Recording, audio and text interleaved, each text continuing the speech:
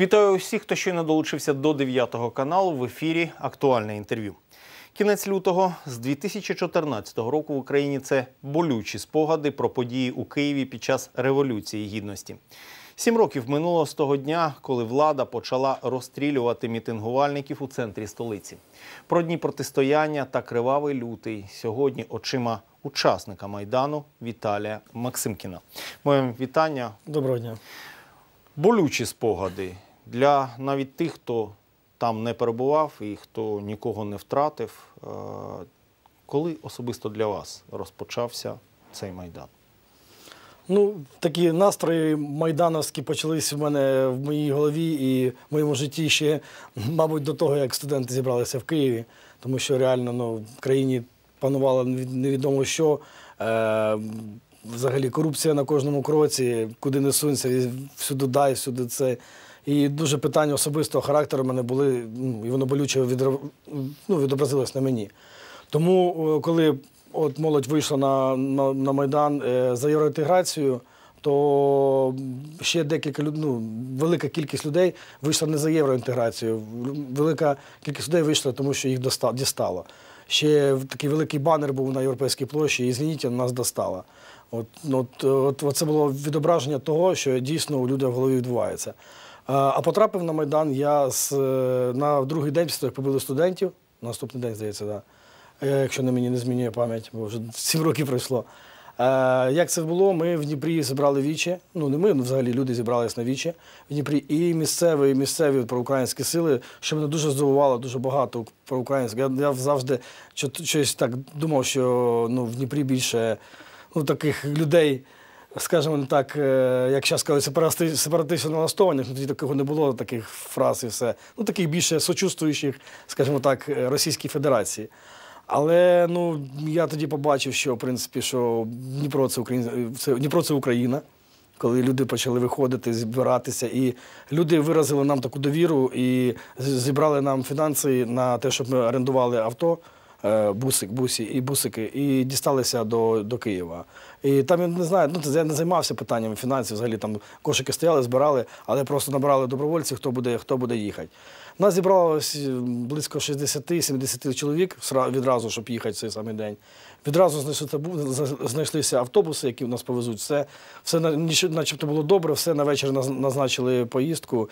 І коли ми почали намагатись виїхати з Дніпра, почалися ну, такі, як, як фільм. Блокування. Як фільм. Ну, блокування це так одним словом ти навіть не скажеш. Це, це як можна знімати фільм окремий по цьому, реально. Я ніколи не думав, що так е, наше СБУ так може красиво, красиво працювати. Але коли я зустрів, е, ну була така підстава, так коротко, спробую коротко розповісти.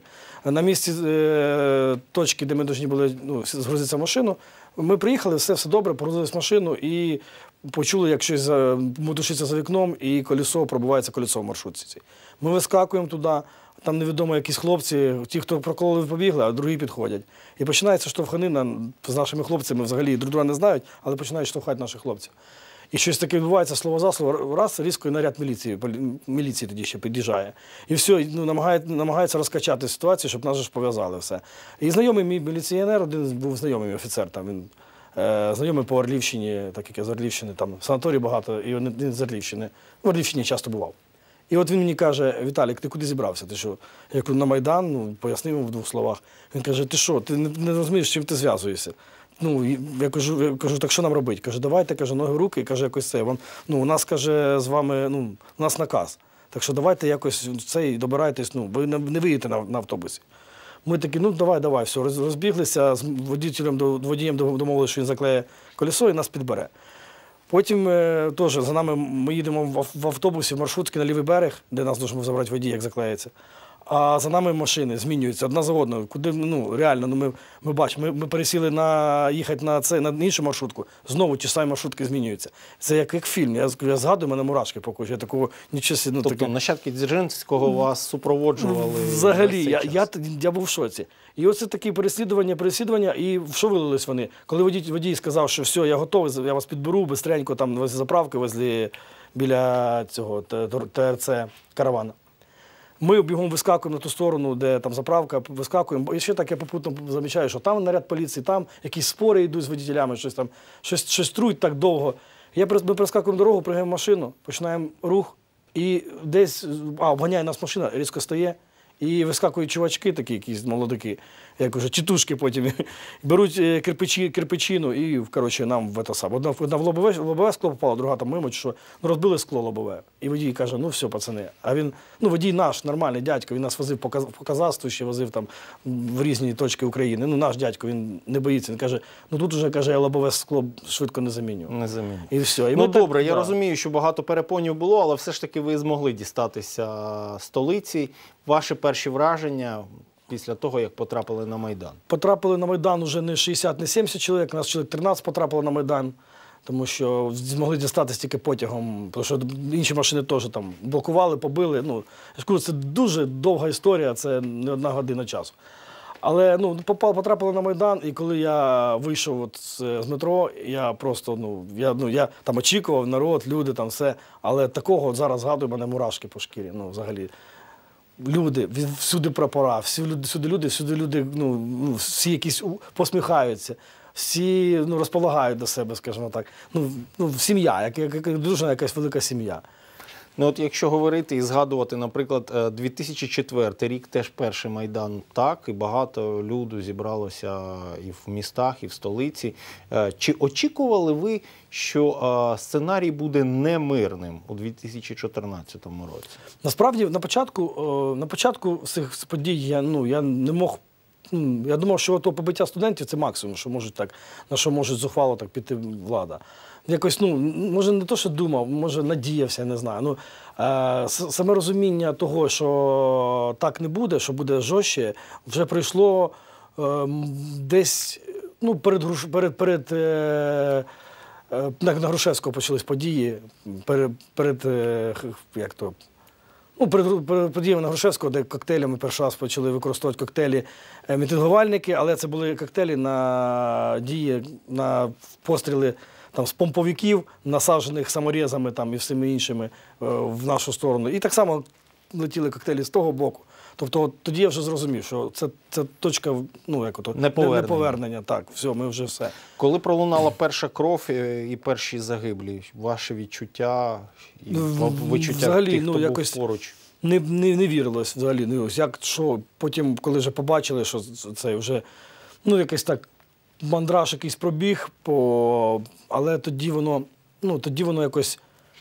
Події на події, там були, ну там дуже швидко розвивались події. І тому от якась подія відбулась, і наступна зразу якась ще подія, і вони за як ото один одного прикривали і швидко не, не давали нам довго зосереджуватися на якійсь одній, на першому горі, на якомусь там, на першій проблемі, на якомусь одному ЧП, скажімо так, ну, якщо грубо. І тому ну, от, воно швидко пройшло і почались інші. Почалися там побиття вже.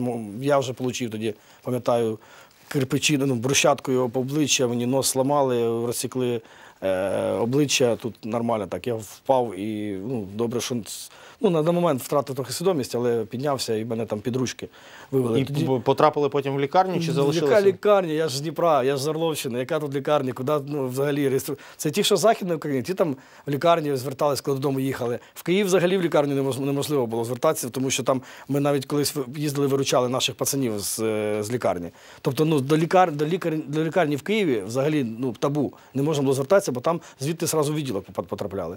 А ну а от а мені, коли я до- до- додому приїжджав, я ж не був там безвилазно. Я бував, приїжджав, мені дзвонять, робота є, та я по будові працював тоді. Ну, до речі, я приїжджав е, додому. ну а як так сталося? От дивіться, е, ви кажете, що е, ну, все перший крок це в Дніпрі, приймаєте рішення, їдемо. Родина, робота. Як зважилися на те, щоб е, все це покинути і поїхати в столицю? Ну, я, як я вже сказав, що на будові працював до цього, і в мене ну, є, є якийсь об'єкт, ми зробили все, все добре там. І тому в мене, в принципі, робота мене як такова не тримала. Я, я, я я звідти з Майдану приїжджав, мені дзвонять, треба там якийсь об'єкт зробити. Я приїжджаю день-два, зробили і, І поїхав і поїхав назад. Да. Поїхав. По родині, ну я казакував раніше сам, це зараз в мене двоє діток і дружина. А раніше я був один, ну тільки мама і була і все. І, ну, тому мама, ну, рідні як сприймали, рідні сприймали неоднозначно. Мама мене, ну, звісно, як сина люб- любила, і тому вона ну, підтримувала мені всі рішення. Да. що може щось трапитися. Але ну, ну, у мене багато родичів в Росії. У мене дід приїхав з Росії в Україну. І тому багато, коли родичі туди дзвонили, казали, що давайте ми там вас, вас там е, по Майдану бігають бандеровці, зараз до вас доберуться, будуть вас там бити, то давайте до нас, може, ну, в Росію. То я казав своїм тіткам і дядькам, кажу, передайте, що бандеровець вже в них в родині є. Добре, скажіть, а як зараз? Чи спілкуєтесь з родичами з Росії? І як спілкуєтесь? Я не спілкуюсь, тому що ну, мої родичі до сих пор з ними спілкуються, ті, що в Україні. Я не спілкуюсь, тому що ну, я не, ну, якщо б, може, можливо, вони вийшли на мене і щось би внятно сказали, можливо, я б тоді е, ну, почав спілкування, тому що ну, родичі родичі, тим більше це не москалі, це з Орла, це ближче до нас. Да.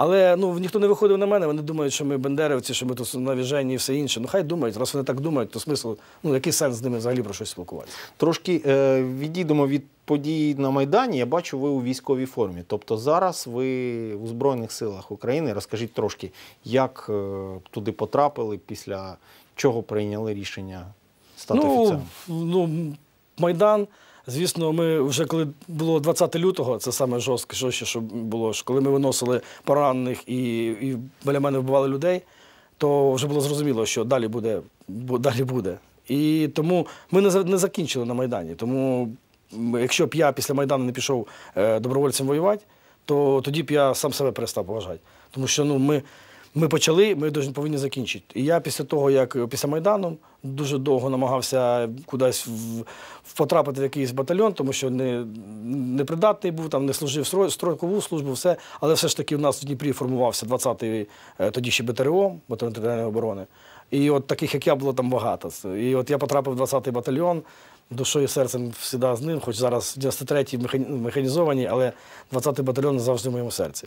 І от в 20-му батальйоні от воював я два, десь два з половиною роки. І в 2016 році поступив в академію сухопутних військ, закінчив, став офіцером, повернувся назад е, в 93-ю бригаду. І от зараз проходжу службу в 93-й бригаді. Добре, знову до подій на Майдані. На ваш погляд, чому стало можливе саме силове протистояння? Хто а, винен в цьому? Ну, е, от брати, що винен тільки Яник, е, ну це ну, помилка. Яник одна людина, влада вона приходить і уходить. А винуваті люди, винуваті люди, які, ну, які можуть продаватися, які, ну, які звикли, що ну, кілограм гречки дороже, дорожче, ніж 5 років життя їхнього і їхніх дітей. Тобто, якщо б один Яник щось там казав, його не слухали люди, то не було б цього, не було б цього протистояння, не було б цього, цієї крові. А так кожен боявся за своє місце, і тому йшли на такі кроки. е, Міліціянти, по- там ті самі Беркута, вони йшли на такі кроки, тому що ну, вони боялися за, за своє, ну їм тепле місце, скажімо так. Але ж дивіться, от сьогодні ви е, військова людина і теж маєте виконувати наказ.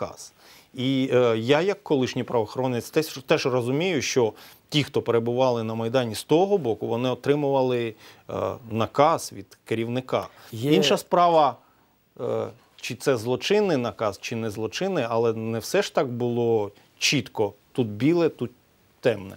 Так, це ну таке питання. Ну, якщо дешку не кривить душою, там ну відкрито спілкуватися про це все.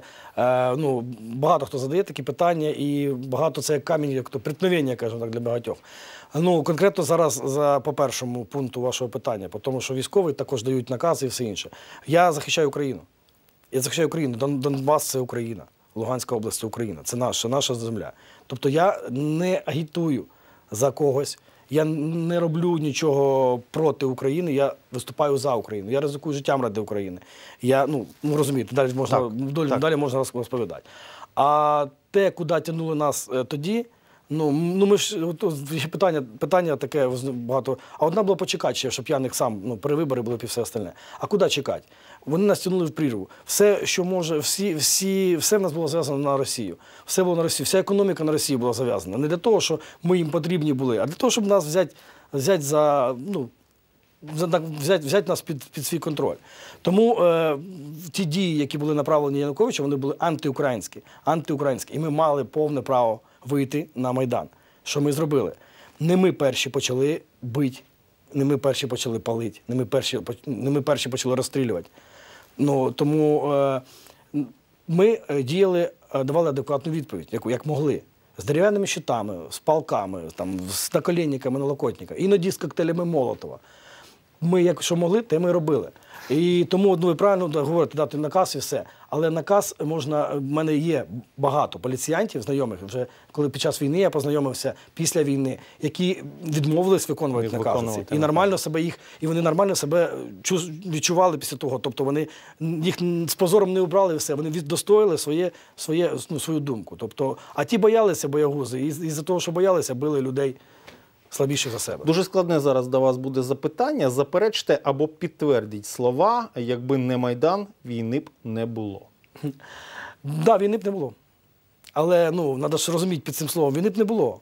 Просто під окупацією москалів би загнали нас без, всяких, без, без всякого шансу на майбутнє. Ми, ну, Майданом ми просто дали шанс країні, дали шанс країні боротися за своє майбутнє. Тобто дали шанс країні бути. Тому що не було б країни, були б ми, як, як і Білорусь, були б ми придатком, сировим придатком і все інше. І тому, да, правильно, війни б не було. Але я готовий був жи- життя віддати. Я ризикував своїм життям ще, ще на Майдані, після Майдану, для того, щоб Україна була. І тому мені війна, ну, те, що не було б війни, я, якщо повернути час назад, не дивлячись на те, що я втратив своїх друзів, деяких, яких мені досі болить, я все одно вчинив би так же само. Добре, чи можливий сьогодні, саме сьогодні, у 2021 році, е, розвиток подій такий, який е, був у лютому 2014-го? Гадаю, що дуже тяжко е, зараз, скажімо так, розкачати, так як тоді було. Дуже тяжко, цьому є багато факторів. Перший фактор, саме основний, таке проукраїнське населення, проукраїнську частину країни і активну частину країни розкололи. І, колять постійно. Колять постійно все. Ми самі себе колемо. Ну, всякими. Нам вкидають, а ми колемо себе. Ми не, не можемо об'єднатися. Ми, от як так само ветерани, от так само от бригада на бригаду починає розказувати, яка та ми такі класні, а та погана. Там, наприклад, і так само так всі структури розказують. Що це? Це ментальність Це, така? ну, мабуть, може металість, а може до нас знайшли психологічний підхід. Може бути, що дуже грамотно це. Ну, це така, це не сам, ну, це основна причина. Але ну, і ще причини, що немає, неможливо такий розвиток подій, тому що ну, реально е, в країні війна, і тому ті, які б хотіли качати щось, робити щось, вони розуміють, що якось надо, потрібно е, якийсь вдалий момент, тому що якщо взяти, розкачати ситуацію, тоді війна на своїх плечах при- при- привести ворога е, в Київ, в Дніпро, в мирні міста, які, які не бачили пострілів. Віталій, не можу не спитати. От дивіться, е, після подій на Майдані ви кажете, що ви пішли на передову, так? І ті події, які відбувалися саме там, на буремному Донбасі, і ті накази, які вже видавала нова влада, так? Люди, які прийшли до цієї влади, спочатку втрачаємо Крим без жодного пострілу, потім події на Донбасі. Що в окопах?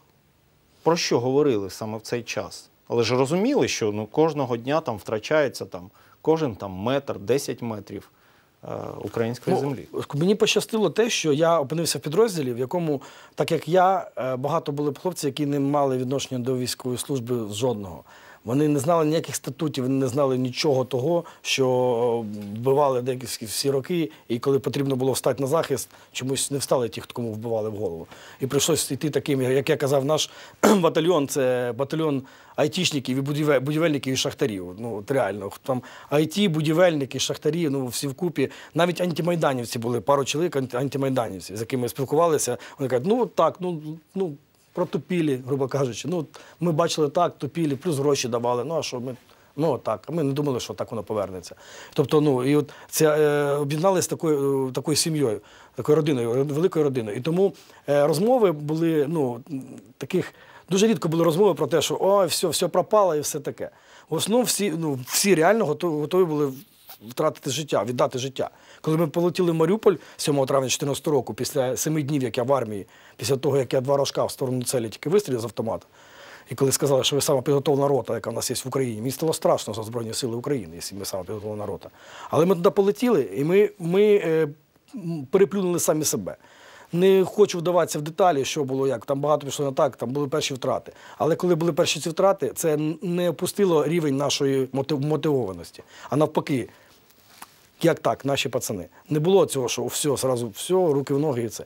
От було, була така, як на Майдані. Було таке, таке саме зібрання, як на Майдані. Так само, як 20 лютого. Ми несемо одного пораненого, бі- біля мене Бондарчука покойного вбивають, він падає, в другу сторону я падаю. Заносимо далі, з другим хлопцем заносимо далі цього пораненого, Бондарчука. Потім, ну, таке все. Ну, все, не було такого, все, тут убили, тут стрельнули, все, і тікать. Тобто родина була. І тому настроїв ніяких поговорили, тільки говорили про те, що, що от ми зараз місяць другий звільнимо і приїдемо додому, і будемо вже вдома наводити лад. Будемо цю владу ставити до Останнє запитання 30 секунд. Про що зараз мрієте більш за все? Оце таке питання. Та мрію, мрію, щоб е, в майбутньому, ну, щоб мої діти, мої внуки, коли виростуть, щоб вони в книжках історії е, не читали, що я був якимсь поганим дядьком. А якщо так буде, то значить ми програємо цю війну. І я не хочу, щоб ми програли цю війну. І ну, війну за війну за, за розуми, за територію, за все. І тому я хочу, щоб я ж кажу, підсумував, щоб в майбутньому в книжках історії ті події, які зараз відбуваються, і моя участь в них, вона розцінювалася так, як позитивно і героїчно, а не як воно може бути, якщо ми програємо. Дякую, що знайшли змогу, завітали до нас і за ваші спогади теж. Дякую. Ну, глядачам 9 каналу нагадаю, що у нас у гостях був Віталій Максимкін, офіцер Збройних сил України, який у 2014 році опинився на Майдані Незалежності і був безпосереднім учасником Революції Гідності. Я дякую всім за увагу. Пильнуйте себе і хай вам щастить.